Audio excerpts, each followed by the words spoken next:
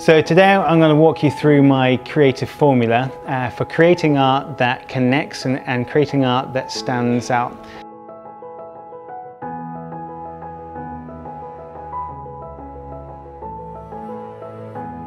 So when you're walking through a gallery, when you're walking through an exhibition or a museum, uh, there are certain pieces of art that will make you stop. And the, the ones that, make you stop have these four things that, that I'm going to introduce. And this is part of my creative formula that once you go through, using your own art, that you'll be able to uh, create some great art as well that pass what I call the five second test. Now the five second test is when people have stopped, uh, they're looking at your art, they are starting to connect with the art. And if they connect with the art, then they're more likely to buy and uh, they're more likely to appreciate your art and, and so forth. And so this is what you, you want to do. You want to follow these uh, four things in help to help you create your art. And the four things are you've got to have good content, good composition, good style and good story. So what do I mean by, by content? So content is animal portraits, is portraits, is landscape, is abstract, is fantasy, is something unique, is something that you haven't seen before. So an example of that is when I was in uh, the National Portrait Gallery as, as, a, as a young child, we had, we had walked through uh, and seen hundreds of paintings and, and none of them really um, stood out to me.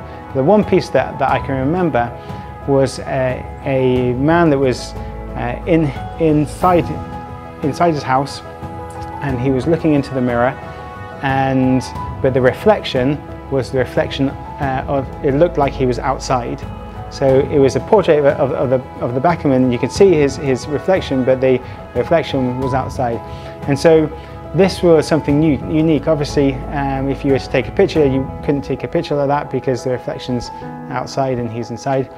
And so it caused me to stop and look and, and uh, it, was, it was something that was, was different. To start to create good content, what is a good exercise is to start to, to mix and to mash up uh, different content. And so what I mean by that is that rather than just uh, so with, with my painting of, of Out of the Wilderness, rather than just create a, a picture of a, of a, tiger, which people would have seen before, uh, so people like tigers, they might have seen it, and, and, and even though it was a hyper-realist piece, they might look at it and think, oh, that's a really nice uh, picture of a tiger. But because I mixed it in with some different elements, that I mixed it in with uh, the, the, the forest background, uh, all of a sudden it's, it started to be an, an, image that they might not have seen before, that it was, it was something unique. And so that would make people stop and start to connect with with the with the image. And so start to think about mixing mixing those. So it's similar if, if you've got two different colors right? So you've got red uh, red yellow and blue the, the primary colors. So you've got three colors there. But if people only paint paint those three colors um, you can't create something new but if you start to mix them you've got infinite possibilities of, of different colors along the, the, whole spectrum.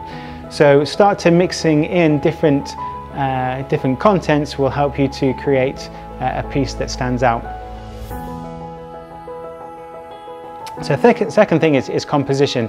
Now in composition, there's, there's a number of different elements that a lot of tutorials will, will go through. So there's a few things that I use I like to use leading lines. Now what leading lines are is they are lines, uh, not physical lines, but you use the trees or you use the petals or you use the sky and to draw people's eyes in from the corners of the piece into the main focal area. That's called leading lines. Um, and it helps to then from the from the focal area helps your eye to move across out and, and move around the piece. Another thing is breathing room.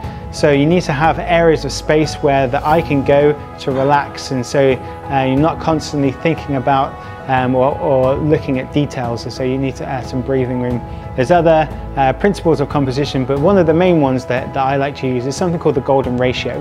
Now you might have heard the golden ratio in things like the Fibonacci uh, sequence and, and it's, it's in nature all the time but the way to use it in art is you is you want to place areas of interest or significant objects of your painting in the golden ratio. Now how do you do that? So you, you measure the width or the length depending on which uh, what you want to do. So say, say it's a landscape and you want to put the horizon on the golden ratio. You would measure the length of the piece, you would divide that by 1.618 And that will give you a, a number where if you put the horizon on, on that number, it just looks good. Now, so don't ask me why, don't ask me why in nature it's like that, but it's just doing that math just looks good. And so it, going back to the same piece, the, the Out of the Wilderness, the, the tiger piece, if you measure the, the, the width and you divide that by 1.618, you'll get a figure which is directly in line with the eye of the tiger. And so I did that on purpose. And so if it was slightly to the left or slightly to the right, then it just the piece just wouldn't work as well as it, as it does. And then so you've got the leading lines of the back of the tiger and you've got the leading lines of, of the trees as well in that piece. So there's, there's different elements of, of good composition. So you need, need, to make sure that you have a sound composition for, for your piece uh, for it to stand out. The next thing is style. So creating a, a, unique style, sometimes it, it feels uh, harder than, than, uh, than it needs to be. And, and uh, again, you can start to mix up uh, some different elements. You can mix up abstract with hyperrealism. You can mix up watercolors with, with, with charcoal. And so there's, there's various different uh, things that you can do to mix up different styles. And so it's important that you spend the time and, and the, the background learning different techniques and using those uh, different techniques into, into your art. Uh, so my style is, is, is charcoal, uh, charcoal hyperrealism. But in part of that style, it's again mixed in with the content that rather than just doing just doing hyperrealist pieces, I developed a style of, of, portraits that I call double portraits. That's just uh, putting two, showing two different sides of, of, the person in doing these two different, different portraits. Uh, and that's become part of my style. That's become part of, of something that if someone were to see a double portrait of that, that can be hung both ways, they would recognize it as, as identifiably mine. So you need to find a style that is uh, starts to become recognizably yours and, and, and there's, that's common throughout your, uh, your set of, of pieces. And the final thing is story. So using again uh, Out of the Wilderness as an example, the story of the piece is really key. And once people have stopped and they've connected with your piece, that's all very well and they might like it as, as, a nice piece. But once I start to tell people the story behind the piece, they say, wow, I like it even more now. And so they, the, that connection is so much stronger. So the story behind the, the Out of the Wilderness piece is that you're showing the, the blacks, you've got the, on the one side the black, you've got the, the other side the white, and that represents our lives in, in that we, uh, the yin and yang, it represents how we both have uh, good parts of our lives and we have struggles and we have trials and temptations. And the, the idea of, of the piece is that as the tiger, the tiger uh, is still immersed in that struggle. So even though it's, it's, it's out of, it's come out of that, of that darkness, uh, you can see there's, there's various parts of the tiger that's still in that darkness and, and so that represents that you know if you've had the loss, loss of a loved one, if you've had mental struggles, physical struggles, often we, we still feel those uh, struggles even though we're, we're through those, those, those uh, the worst and, and the hardest and the darkest of those times.